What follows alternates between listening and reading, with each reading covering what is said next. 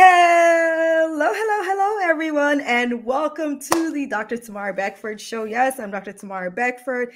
I am an ER physician. I help organizations to reduce their employee burnout through self care workshops. But in my spare time, I am the host of the Dr. Tamara Beckford Show, where I have all my amazing physician colleagues stop by and tell you all the amazing things that they're doing inside and outside of clinical medicine, right? So I know you're there and you're like, wow, I'm going to really love this episode. And I'm like, yes, you will, especially if you're a physician. We're talking about the favorite part of your mm. day. This is the part that you wake up and you're like, oh my God, I cannot wait to do this. Yes, we're talking about charting. oh my goodness, you're going to love it. So I have my wonderful colleague here. Now, if you are really busy because you are charting at the moment, but you want to go back and hear this wonderful episode, do not hesitate to go to our yourcaringdocs.com, select podcast. You'll see my lovely colleague's face, and you just click that link and listen. If you are a physician and you're like, you know what, I got amazing things and I want to let people know about this too. Hey, I welcome you here. I welcome you. Send me an email at drbeckford at yourcaringdocs.com to book.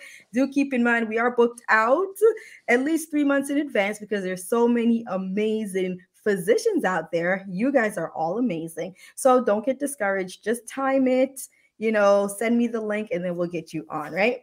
All righty. So without further ado, let me introduce you to our wonderful colleagues. And if you are one of our physicians, you can start charting on this, right? Okay, so our doctor here today, he's a graduate of the University of Illinois Chicago. He did his residency in um, University or Indiana University, pardon me. Indiana University. He is a pediatrician. So shout out mm-hmm. to Indiana University. Yay, shout out to all my pediatricians at the house. Hello, hello, hello. Yes, and he is currently working in Indianapolis. Yes, funny listening and charting. Mm-hmm. I, like Dr. Neka, yes, you are charting as we're listening. I love it. He is the CEO of Med Ed Well, where he helps our physicians finish charting faster so that they can get home sooner and do what matters most. Absolutely. He is also the host of the Med Ed Well podcast. I'm talking about the one and only Dr. Ryan Stegink. Go, go, Let's see those charting fingers, Dr. Ryan. I love it. I love it. I love it. Hi, hello, hello. Thank you so much for joining us today. So, I mean, what can we say? This is the most famous part of the Physician's Day, right? Absolutely. Thank you so much, Dr. Beckford, for having me here on the show. And I'm so excited to make charting more exciting. Um, although, really, it's like you said, it's it's a so that it's doing this so that you can take great care of patients and get home for what matters most to you. Absolutely. So before we start charting all of that part, let's go on to the other uncharted territories. Am I going to keep talking and using charting little memes and jokes? Maybe. I'll just say whatever comes to mind. But let's start it off by telling us when and how old were you when you decided, you know what?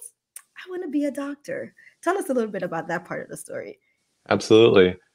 So when I was in high school, mm-hmm. I had a family friend who was a teacher, and she saw something in me and said, mm-hmm. "Someday you're going to be a pediatrician." Really?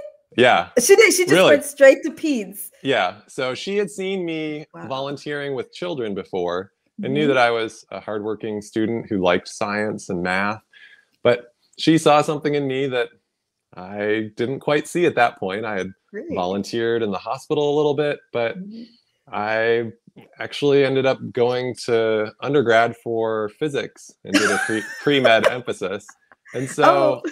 it was uh, kind of meandered that way, charting my path through. Mm-hmm. And I got it. I like the corny dad jokes and uh, the puns and so mm-hmm. My daughters will one day uh, just shake their head. That's that. Hey, they'll shake their heads with my son shaking their head. But yeah. I I love the fact that like someone saw this in you, and mm-hmm. then they mm-hmm. said, you know what, you're gonna be a great pediatrician. Like I said, they didn't even give you like the doctor option. They're like, nah, you're really good right here.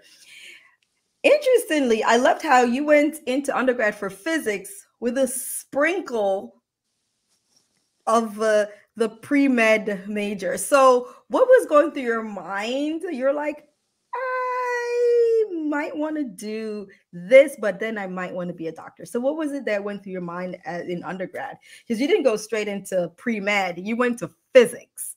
Mm-hmm. So, so yeah, it's kind of an interesting thing because you think, oh, it's like, was should I have been a biology major or a chemistry major? But no, I had a really good teacher in high school, mm-hmm. and I was just really curious about how the world works. And so a lot of the initial physics classes are more about classical mechanics, how things move, forces, Newton's laws, and not so much on the quantum mechanics, which mm-hmm. when I got there in undergrad, I was taking that at the same time as organic chemistry, which was quite the load. Oh, wow. Yeah. And so, fortunately, I had a really good organic chemistry teacher whose teaching style, he would just write on the chalkboard all of the equations and draw it out. And so we were expected, he didn't have PowerPoint notes. And so you didn't get the slides. You had to take the notes yourself. But that really worked with my kinesthetic learning style. Mm-hmm. And I started to lean more towards medicine. Wow, that is interesting. Now, if anyone is in undergrad right now and you're doing physics and organic chemistry at the same time, we salute you. we understand your plight. Wow, that is that's amazing. So you went in there using, and it really goes to show, like I say very, very, very often here, you know, our teachers, those who are leaders in our community, someone who has paved the way. When you're doing the work and you have someone who is a child watching you, the impact is immeasurable. You know, you talk about that teacher that you had this really great physics teacher. Remind you, someone says you're going to be a great pediatrician. You went in and you had such a great impact from your physics teacher that you went in as a physics major, mm-hmm. you know? And then someone else saw something great in you and that probably sprinkled that. Maybe i can also add that pre-med on the side. So that's a great impact. Now we have some people like we said that are saying hello. So let's give you a chance to say say hi dr neka ichoku. She said funny enough she is actually listening and charting. She's listening to you. So mm-hmm. hopefully we'll get some great skills from it so we can you're not charting at home that we can, you know, leave all the charting at the where it should be, right at the job. And then we also have um, Maraf Hussein that's saying hello, hello, and that, you know, say welcome, Dr. Ryan, to the show. Thank you so much, everyone. All righty. So now, you know, you're in undergrad. you did your sprinkle of pre med but then you went all the way. You went into med school. Now, when you went into med school, there are a lot of people that's been introduced to medicine. They said, Yeah, I'm going to be a this. And then they left at that. so, when you went into med school, did you go in thinking, Yes, I'm going to do peds? That's it. So, I thought I might do pediatrics. And the first two years, you have someone that you go shadow maybe once a month and work mm-hmm. with them. And so, I actually was matched with a pediatrician. But when I got to my third year, I was trying on all the different specialties, at least the core competency ones. Mm-hmm. And everything was just really fascinating to me. And I was kind of between pediatrics, medicine and pediatrics combined training, and family medicine. Mm. But then I had a mentor who was actually MedPeds trained, only practicing as a pediatric hospitalist. And he told me, he said, you need to pick the patient population that you are really passionate about. Don't use specialty choice as a means of saying, well, I'll do med peds and then I'll decide later. It's mm-hmm. like you need to figure out what you want and then take that next step forward. And that's how you made it. Mm-hmm.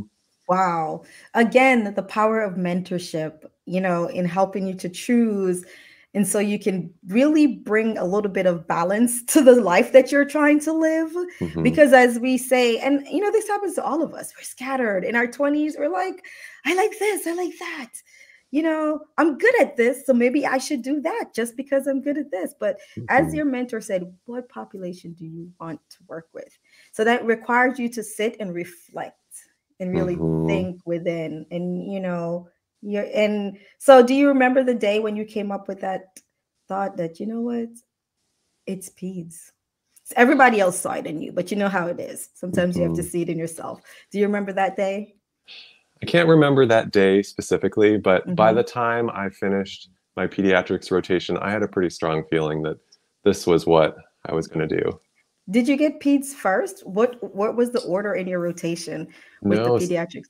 So I actually started with internal medicine, mm-hmm. um, and it was good that I had some experience doing some paper charting. They still were doing paper charting. This was back probably 2011, 2012 mm-hmm. at this mm-hmm. particular hospital, and so it was good perspective as I went through my career. It's like, okay, what does paper charting look like? What does uh, different systems look like? But then I didn't get to pediatrics until probably my fourth or fifth rotation in probably February of my third ah. year. Ah. So, so at that point, you'd experienced all the others, and so you knew that after that rotation, yes, this is it. Yeah, I think I may have still had surgery to go, but mm-hmm. I didn't. I knew that I probably wasn't cut out to be a surgeon.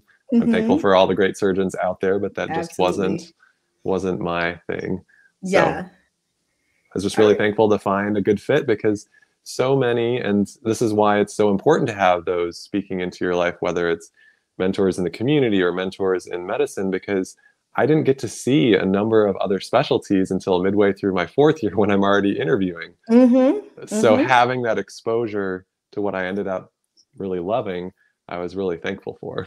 Absolutely, absolutely. I love it. So pediatrician or the pediatric rotation was my first rotation. Mm. Scared the bejesus out of me. As with my, you know, and, and now I do emergency medicine where I when I get my peds, my well sick peds. For those of mm. you, you know, the well sick, the ones who are like, oh, you know, you give them Tylenol and then they perk up and you're like, yes, Mm-hmm. Um, so those those pediatric patients, I love them. When I was doing my peds rotation, I was scared of them. so, so I love that you had peds near the end where you said, "Oh yes, you know, it has solidified in you, especially mm-hmm. after getting all the um, info and the mentorship." Choose what population you want, and you decided, all right, this is it. Now, interestingly, so you mentioned the paper charting. Mm-hmm. Oh, yes. Checking those boxes, writing the, the entire thing out, your history of present illness, what made you come in, these beautiful, and you said it, especially internal medicine. We salute all my internal medicine docs and, you know, these very long, long written notes. Mm-hmm. So we went from that until now electronic charting. When did you start to notice that, whoa, this charting is really adding a burden to life and it's really affected my life. When did you start noticing that? So I don't think I really started to notice it until mm-hmm. probably midway through residency. Mm-hmm. I remember as a as a med student, we were told you have to write out your uh, histories, your mm-hmm. history and physical. You have to write them out kind of from scratch. So you do them on the computer, but you have to write them all out which mm-hmm. at the time I thought, well, why can't I just use a template? It really it really did help solidify in my mind what is supposed to go into this. Mm-hmm. But then I realized as I went through some of the different computer systems, the computer system was trying to replicate the paper chart in the computer, and yet it meant there was a lot of clicking. And so they said, oh, you could choose any of these physical exam findings, but then you had to click, click, click. click. And it just started to add up. And so, Yeah, it's a thousand clicks. absolutely. So, so you started to notice that when is it that it came to mind like, wow, I can, like, this is bothering me. I figured this out. When did you start to figure it out that you're like, you know what, I can help somebody else with this? When would mm-hmm. you say that this clicked? Oh, did you get it? When did it click? Oh.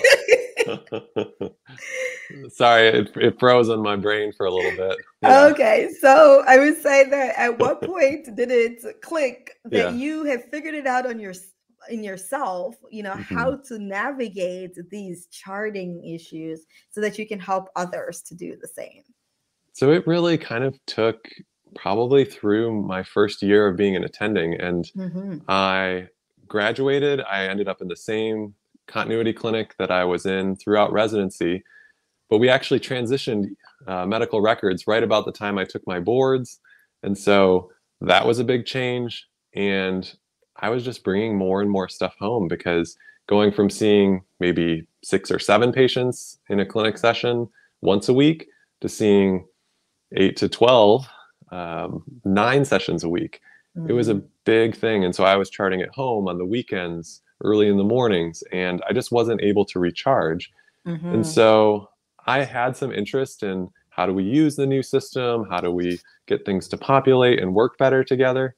But when I was burned out, I had the opportunity to cut back a little bit and to be able to go away to a training on how to actually build things in our medical record.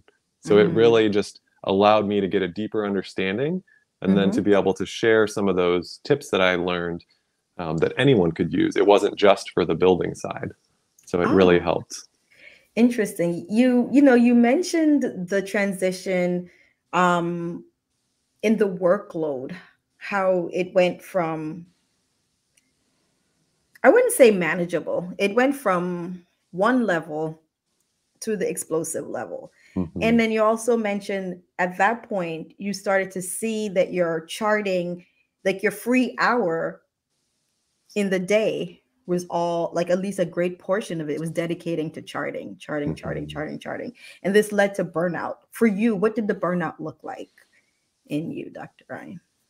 So for me, burnout looked like I was irritable, mm-hmm. I was tired, I was bringing everything home and just I also speak Spanish. And so, between speaking in a different language mm-hmm. and using interpreters and having the same 15 minute slot for every patient, regardless of what they're coming in with, whether yes. you're going to deal with all these different things, I just, at the time, I really found that to be stressful and overwhelming. I think that's an understatement.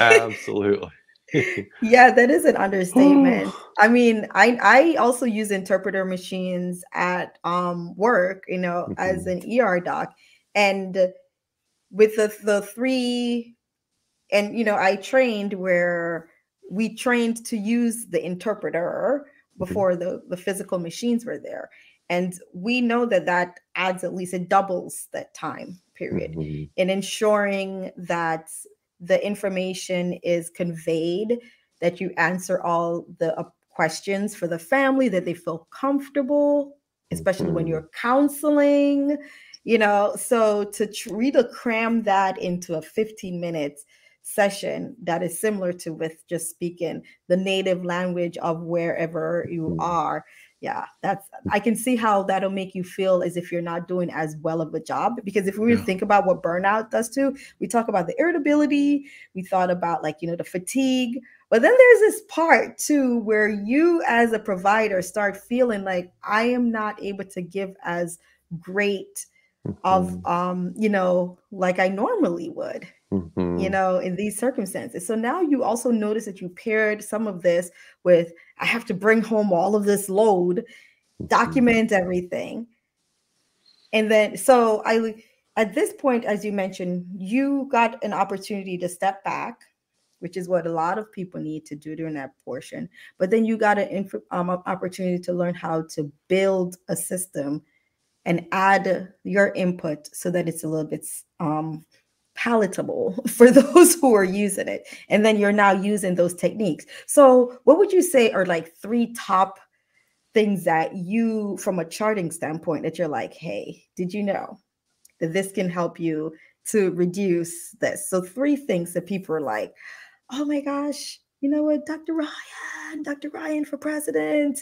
Thank you so much. let, let us know three things. So my top three things would be number one, um, working on uh, standardizing some of your templates. And so mm-hmm. if you are able to make templates, say for a different disease process, or for me, it's more of the age-based well visits, mm-hmm. and it's it'll be an iterative work in progress, kind of like the quality improvement thing, but mm-hmm. just knowing what's there. And if you ask one of your if it's a super user or someone who has a little bit of informatics training, it might even it might not be a, one of your colleagues, it might be someone that works for your institution. Mm-hmm. But being able to build those out and to take that time to say, how can I invest upfront? And it might be 30 minutes or an hour so that you don't have to click as many things. So that even if there is a little bit of note bloat because you brought some of these things in, if it's essentially you building somewhere where you can see what their last creatinine was, what mm-hmm. their last lead level in the children was, those can really save you some time. So, first, Absolutely. the templates. Mm-hmm. Number two, you want to try and optimize your preference lists. So, you might have the ability to say favorite some orders. Mm-hmm. And you want to say, how many things can you click in advance so that maybe you can bundle. You always do this set of labs for a patient who comes in and uh, having trouble with diabetes, uh, DKA.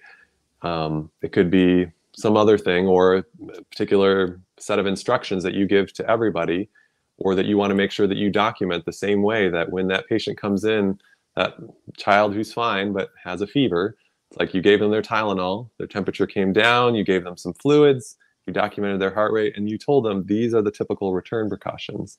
Mm-hmm. So it could be preference lists. Those can kind of go into the templates as well as far as the documentation. Mm-hmm. But from the orders, it just cuts down on the clicks and sometimes mm-hmm. the back and forth between your keyboard and your mouse. Oh. it's like going back and forth. You just feel like, wait, where am I? Mm-hmm. Mm-hmm. Absolutely. And then, alrighty. So we've talked about having some template sets, mm-hmm. templates for common things that you're usually doing. Hey, you know, my patients are coming in for this particular disease process. Mm-hmm. I know that these are questions that I usually ask, and these are orders. Like the second one is bundling a set of orders, like they're mm-hmm. common orders if they're coming in and they're DKA, and that's diabetic ketoacidosis for those who are not um, in the medical field. So that one is one of those really big emergencies for someone with diabetes, especially if they're insulin dependent. So, you know, the diabetic ketoacidosis, there are a list of medications that are given fluids, labs, and monitoring that occurs in that. So you're just bundling that because um, if we're if one were to to put those orders in individually, it can end up being over 35 click-ins or more plus type in just for that one patient if you are doing just individualized orders as i th- i'm thinking about it because i mean mm-hmm. i take care of these patients in the er so i'm thinking like if they were in a bundle i can see how you know that's a lot of clicking individually that that um things so now we're charting we've taken care of these patients like say for example me as an er doc oh my god i finished taking care of my dka patient i got them to the icu they're doing well. Now I got a chart on them. What are some mm-hmm. ideas that you would have for me to reduce my charting so that I can go home and mm-hmm. be with my mm-hmm. two sons? Yeah, I think the biggest thing, and this is what took me the longest to go from as a resident and a mm-hmm. student of having these amazing notes that I spent, and they're a masterpiece. And so yes, I'm used in the Hall get, of Fame, right? Absolutely. It's like if you want to get honors, you need to have an amazing note. It's like, however, really it's about learning, like, and this is something that comes with experience mm-hmm. and asking others and observing. But it's like, what do you need to absolutely have in there, and what is eh, that's nice, or that could make it more flowery language, but you can mm-hmm. make it succinct and sufficient. And as notes are increasingly transparent to patients, appropriate and clear, but at the same time, you don't need to have all of that extra stuff that maybe I would have put in as a fourth year med student. Mm-hmm. So you're saying that I'm not trying to get the Shakespearean award from my notes? Typically, no. And there are sometimes dictation devices and software that can help with that. Mm-hmm. However, it's really important to then go back and make sure that it's accurate and reflects what you meant, um, even when you have maybe a scribe at your um, disposal, which Absolutely. many of us, myself and primary care uh, included, do not. So you are correct with the dictation device. That's one way to really cut down on it. However, for those who are not in medicine and you know when we use a dictation device let's just think about it similarly when you're using siri and you're asking siri to give you and siri gave gives you a word that is not the word that you asked for that occurs during the use of yes. some of the dictation devices so I used to use it and I was initially very excited, but for those same reasons, mm-hmm. I no mm-hmm. longer use it. Mm-hmm. I think the biggest thing, and honestly, this is one takeaway that anyone at any stage of training can really take, is mm-hmm. figuring out how you are able to get something charted in the room while you're in the room. And so, if mm-hmm. it's just what they specifically said mm-hmm. about their disease process, what they said the patient told them before they're now less responsive.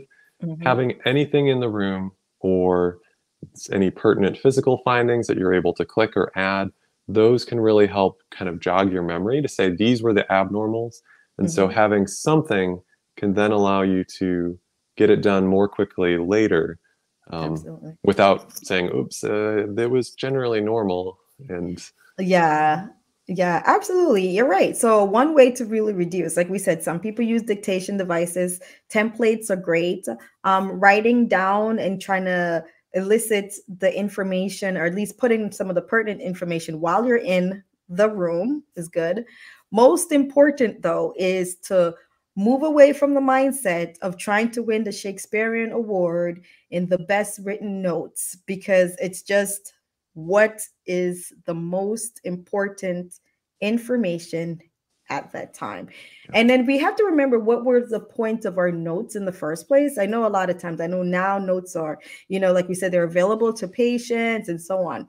But the core of the notes is to communicate with the next physician and to leave the information for yourself so you can remember the next time. Mm-hmm. So however you can document that information so whomever you pass that note on to they open their note they are able to understand what happened. And it's usually the physician. So the notes i mean this might go out and if you know the powers that be are offended i mean i i'm i'm sorry but the notes are for physicians to communicate with physicians so we can take excellent care of the patients so the patients have access to the notes. That's wonderful. But the notes are for physicians to communicate with each other. Absolutely. So that we can take excellent care of you. So that's what it is, right? That's Absolutely. and it's and ultimately that's the part where you really get to show it's like your thought process, your differential Absolutely. diagnosis. And so the thing that I always scan to is what's the assessment and plan? Mm-hmm. What were mm-hmm. you worried about? What else were you thinking?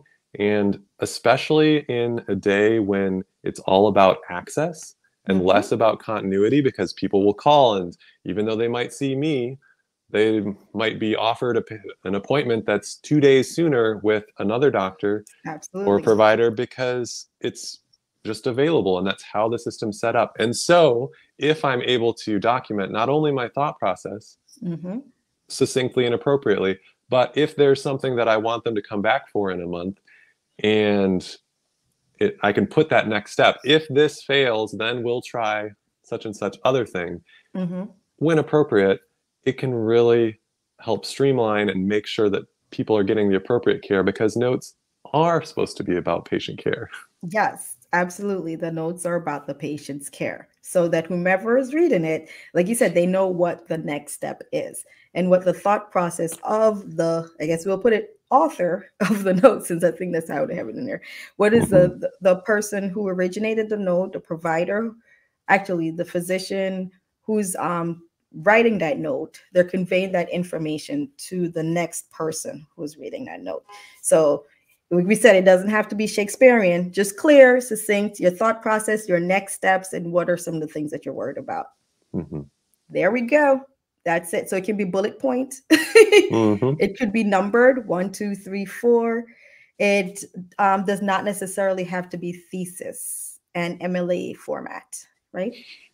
Absolutely. Alrighty, so now that we've really talked about that, I'm going to bring it over a little bit to you personally and see. You know, we talked about just a little bit about, you know, you went through the process of burnout and, you know, you're taking home all these charts and you're charting before you went to work, you're charting after work, you're charting on the weekends, you know, and that leads to a level of just really just you're you're empty, you're worn out. So now in order to prevent that, what are some of the things that you're doing personally to prevent heading towards burnout again? Fellas. So for me, a few of the big things are first I have to know my why. Mm-hmm. And so having the priorities for me, it's faith, family, and um, being able to connect with friends. Mm-hmm. Um, and so starting from there, then you're able to say, okay, well, I really need to at least 90% of the time be done with my stuff at work. So mm-hmm. paperwork, notes, and other things. And then working back from, I think it was Stephen Covey, that begin with the end in mind. Um, mm-hmm. Um, it's like say, where do I want to be? And so build backwards to say, what am I going to have to do to make that happen? Absolutely. It might be that I give up my ideal of Shakespearean notes. It may be that I give up um, the idea that I have to have every single chart closed before I leave. It mm-hmm. might be that I do some of those when I come in the next morning, but I prioritize those that I know are sick and might have had to go to the ER overnight. Mm-hmm. And so that way, when you're seeing them at three in the morning, you actually know what I saw 12 hours earlier. Absolutely. Absolutely. I love it. I, and and you know, like you're saying, someone in the comment too, they're saying, I love it. Know your why. And mm-hmm. I'm assuming you read Simon Sinek's book? Uh, not yet. Start with your why. Begin with the end in mind. Yes. So Simon Sinek is uh, yeah, that's one of his um famous book. Um, like you know, knowing your why, and mm. uh, so it really. And I think for anyone who's building something, anyone who you're at that point in life, understanding your why, like you said, brings you out of what are some of the main things that I need to do to achieve this goal that I have put up as my why. And when we say your why, like what is it that's important to me? You said faith, family, and you know, being able to connect with friends. So that's mm-hmm. those are your whys. So when you are at work and your mind says, you know what, Ryan, we don't have to chart right now. Maybe we can go and start chit chatting, go over to the water cooler, and you know start just chit chatting at the water cooler, your main why comes into mind. If I mm-hmm. spend 30 minutes chit chatting at the water cooler, and you said working backwards, right? Mm-hmm. So what's gonna what are the results of that? Well, I'm not gonna be able to finish these important charts. So mm-hmm. I'm gonna have to take them home. And when I take them home, that's taken away from my why. You know, that's mm-hmm. taken away from the fellowship, the connection, and now that's taking sleep, and now I'm stressed out at work. I mean, at home, think you bring in work. So we see how working backwards from that and just really focusing on some of the whys that you can, I wouldn't say force, you can guide mm-hmm. yourself. Well, it gives a certain amount of like constraint to say it's like, okay, it's like I'm doing this now so that I can do this later. And if I really sit down and focus, and mm-hmm. it sometimes you get interrupted and it's appropriate. Sometimes it's finding those ways to batch it and to say, I'm going to do my notes maybe in this unused patient room mm-hmm. for 15 minutes, and I get more done there than I might have in a half an hour if I was getting a reasonable but non urgent uh, refill request or paperwork to sign mm-hmm. and talking to my colleague for another 10 of those minutes. Um, Absolutely. So it really just is figuring out what you yeah what your why is and why that matters so for me it's like my daughter watching the window for is daddy home and then she'll be like she's two and a half uh, mm-hmm. two daughters one's an infant so not quite there yet but the two year old will be like daddy's home and then i mean if i don't get my stuff done and then i'm a half hour later it's like she's already eating and getting ready, ready for bed, for bed. so mm-hmm. being able to get home most of the time for dinner is huge in terms of you just have to play out what will that look like when I actually follow through on this.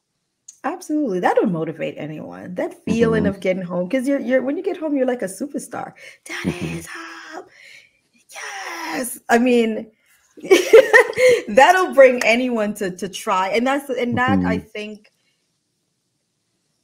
when it, when we really sit and think about what some of the reasons why a lot of people enter into the burnout village is like you know i'm doing all of this work and, and i don't get to enjoy the little things such mm-hmm. as getting home to get the hug you know getting home just to to see my child the look in their face they're smiling you know it's challenging when i leave and they're sleeping i come home and they're sleeping and on the weekends i'm working so much that i have to keep telling them I'm I'll be there soon. I can't do it right now. I can't do it now. All of that mm-hmm. weighs upon you. So it's really so even though we're talking about charting, it's more than just charting it's like you know it's really working into your life. So it's kind of you taking control so that you can live the life you want so that you can have that time. You know go ahead. What were you thinking dr yeah so i think that point about being able to take back some of that control there's so many things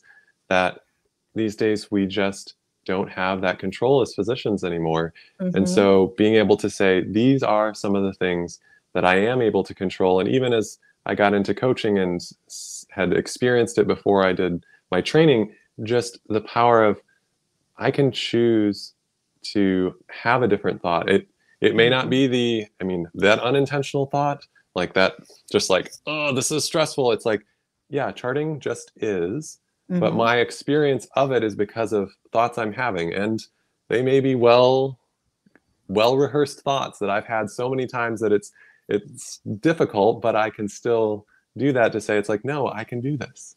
Yes. I can make it home for my family. I can make it to dinner plans with uh, friends an hour after clinic is supposed to be done, and it should be reasonable.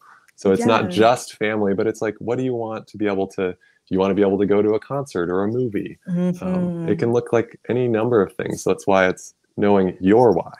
Absolutely, absolutely, and that's that's an important portion. I consider a port, an important portion of self care. Understanding mm. what's important to you. It's individualized. You know what's important to me might not be the same layer of um you know things that are important to you. Mm-hmm. Love it. Alrighty, so you know before we go into, I know you have a wonderful program coming up, and we're going to talk all about this. But before we go into it, I have to ask my fun question of the day. So, Dr. Ryan, if you weren't a doctor, what would you be? Well, normally I would say probably something where I could be getting into either systems and computers, like in events. I mean, I grew up playing soccer and I was a goalkeeper. And so this month I would probably say like uh, a, a professional player. professional soccer player. I but, love it. World Cup so, it is. yes. so um, that's probably where I'd go today for the fun. today. A professional. Yeah. You're actually my first professional soccer player. I love yeah. it. We have a lot of dancers. We have you know, travel photographers, we have restaurateurs, we have cafe owners, mm-hmm. urban planners, florists, interior designers. And by the way, these are all doctors, guys. Mm-hmm. So these are what goes right. But now we have a a famous because you're not going to just be you're going to be a famous soccer player. I uh-huh. love it. So I'm going to add that to my list. So we do have some highs you know, there we do have Mama Nutrition saying hi. We have some LinkedIn users that are agreeing to like, yes, they love that know your why and begin with the end in mind. And we also have Greg Lyon saying hello all the way from Australia. That was my famous Australian accent, Greg. You tell me how I did. Thank you so much for joining us. Alrighty, so Dr. Ryan's we have a wonderful you are also the host of the med edwell podcast but you have some wonderful programs that's coming up next month. So we are in december and in january of 2023 you have a wonderful program coming up. Tell the audience what program do you have for those who want to know and do better at charting? Thanks so much. So i am leading a program called charting mastery Ooh. and it's to get home sooner with your charting done. Mm-hmm. Because, like I said, it's about knowing your why, and it's so that it's not just so that you can say, I'm a Shakespearean charting master. It's mm-hmm. having your charting done so you can get home sooner for what matters most to you. Mm-hmm. And I initially had kind of put this together as both a course and a coaching kind of package together. Mm-hmm. However, I realized that kind of lowering the bar for entry may mm-hmm. be really helpful for people that are like, I don't know about this coaching thing, mm-hmm. about working with my mindset, but I do want to get my charting done faster. Mm-hmm. And so mm-hmm. kind of splitting those out so that those who are ready for coaching, I'm I'm here for you. Come join me. But if you are like, hey, I want to do a program with some CME credits and be able to make steps forward so that I can get home sooner, then this is the opportunity to join me. I love it. So when is this opened? Because we are at the this recording is December 1st. Alrighty. Um, you know, we said this is in January, so I need to mm-hmm. gear up and be ready for this. So let me know when is this program going to be available? Yeah, so I'm going to have some webinars the first week of January, January 4th and 5th. Okay. And then I'll have the card open from January 9th, Monday through Thursday the 12th and we'll get started on the 18th.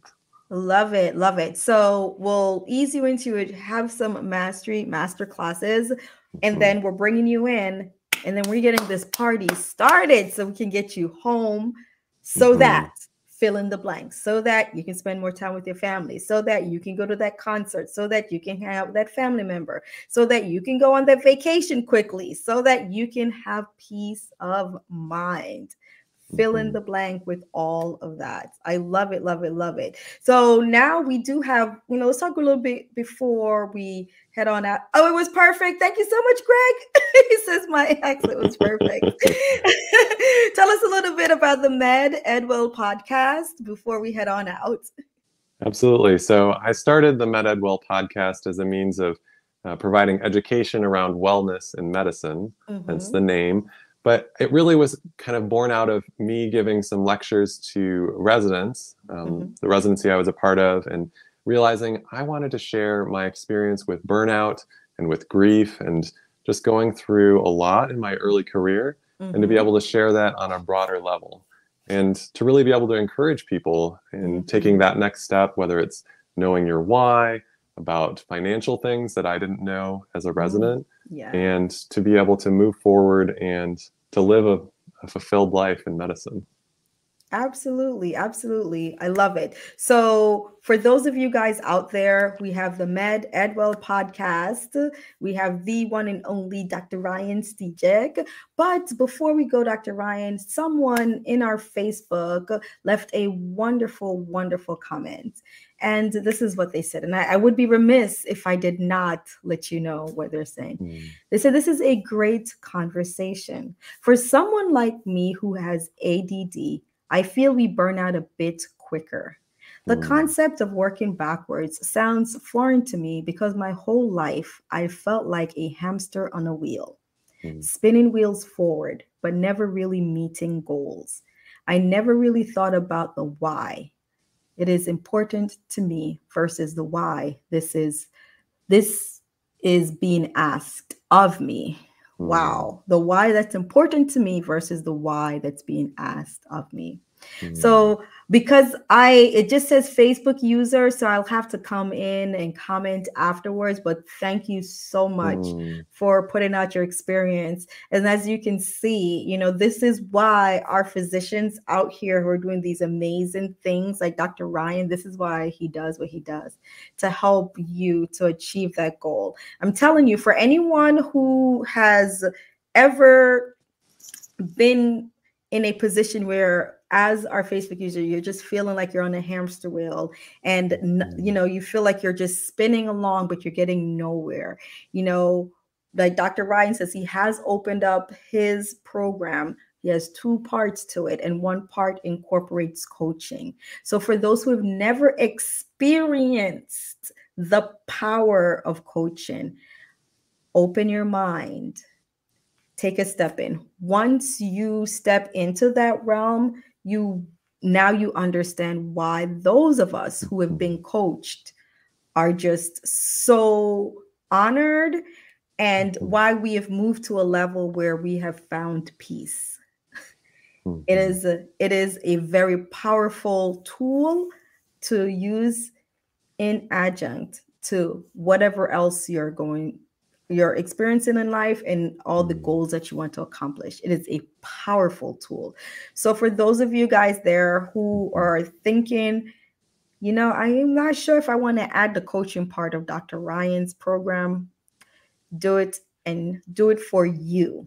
Do it for mm-hmm. you so that you can experience the why and that you can achieve the why and that you can change the way we think about the processes in our day to day life and the way that we go about achieving those goals. Trust mm. me, it's hmm. very powerful.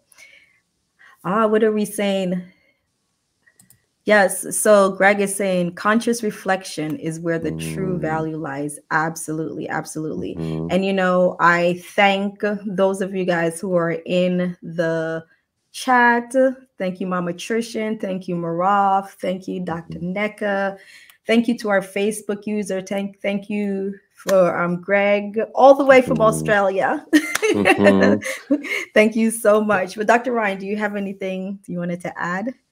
Yeah, I think that conscious reflection is really kind of part of coaching and just giving individuals an opportunity to bring some of those thoughts to the surface mm-hmm. so that you can actually say, oh, well, that's actually what I'm thinking and how I didn't realize that was causing these effects downstream because we're this is a group of smart intelligent wonderful people that mm-hmm. by just having the neutral person there to process with as a coach mm-hmm. then you're able to say it's like oh maybe i do want to change this or mm-hmm. maybe i want to keep this and this actually does impact my why and i want to double down on that and so mm-hmm. i can't make you change or do anything it's it's not even about that it's about saying how can you bring that to awareness that conscious reflection mm-hmm. and so um, and yeah just whether however your brain works best to be able to break it down mm-hmm. and so mm-hmm. you have the end but you have all these little steps you don't have to choose it all at once yes. because that leads to the overwhelm and mm-hmm. so rather than saying i can't do this or i can't be like this other person in my practice that gets all their charts done i remember hearing that early on in my career where one of my colleagues was like oh yeah i'm pretty much done with all my notes by the end of the day and i just like what mm-hmm. who who are you and saying it's like okay these little steps and just yes. breaking it down so that you focus on one thing it's like i will do one template today mm-hmm. and that is it and that's okay and just to mm-hmm. give yourself space to do that i think Absolutely. is really important in terms of self-care and self-love and self-compassion Absolutely, which is all going to benefit you. And if you are built up Trust me, the community and all of your whys, you're doing this for family. Mm-hmm. You're there, so you can do this for family. I'm doing this for community. You're going to be there, so you can do it for community because you've been filled and you've you have filled at your cup. And I think um, Dr. Tawana says she says that we're going from for the saucer ministry. She said mm. so. Whatever has spilled over onto the saucer, you're able to mm. give that because you have filled your cup. This was a mm. wonderful, wonderful conversation, Dr. Ryan. Thank you so much for stopping by and letting those know hey, mm. you can do this too, one step at a time with the charting process. Like we said, we don't do overwhelm. Mm-hmm. We just mm-hmm. give you, you know, you provide the tools in a neutral way mm-hmm. so that the person can choose how they proceed. And all of this they focus on your initial why so that you can live that life that you're dreaming of. I love it, love it. Now, for those of you guys who were watching, and I know that you're going to love this. So go ahead. You're like, oh, you know, I didn't get to hear all of it. That's okay. That's okay. We got this. We got this. It is going to be available on yourcaringdocs.com. Just select podcast and see Dr. Ryan's face and just click listen here. For those of you who have an Apple device, we would love if you leave us those wonderful five star reviews that we love. And we have you know, some of you doctors out there, you're like, you know what? I have those great things that I want to tell someone else about too. That's really going to help them. Hey, we welcome you. So go ahead and send us an email at drbeckford at yourcaringdocs.com. That's Dr. B E C K F as in Frank, O R D at yourcaringdocs.com. And just say, hey, I want a book.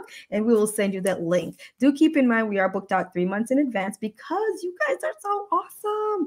You guys are awesome sauce. So just like you know, Dr. Ryan has this wonderful, wonderful program that is coming up in January. So he wants to tell you all about it here in December. So you have time. So think of those dates January 4th and 5th, then 9 to the 12th, and then mm-hmm. he's starting promptly on the 18th. So go ahead mm-hmm. and get those things ready, right? So if you do have a program and you want someone to know about it too, do keep in mind, you know, we are booked out three months in advance. So go ahead and send us that email. We would love, love, love to have you on the show. So any parting words, Dr. Ryan, before we say adieu to all those who are watching? I'd say thank you so much for for having me and just take that moment to slow down, mm-hmm. even if it's taking an hour to go somewhere quiet so that you can actually hear yourself thinking, mm-hmm. so that mm-hmm. you can know your why and to be able to plan and then execute on your first step towards that. Love it, love it, love it. Yes, wonderful words. Take that time mm-hmm. to yourself so you can slow down, find your why and execute towards it. Alrighty, thank you all for watching, and we will see you guys next time. Bye.